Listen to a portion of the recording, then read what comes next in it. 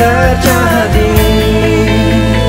Tak akan mudah Lalui cobaan.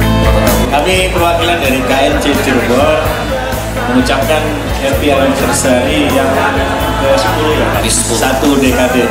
Semoga tambah solid, semakin banyak membernya, kompak selalu. KLC Indonesia!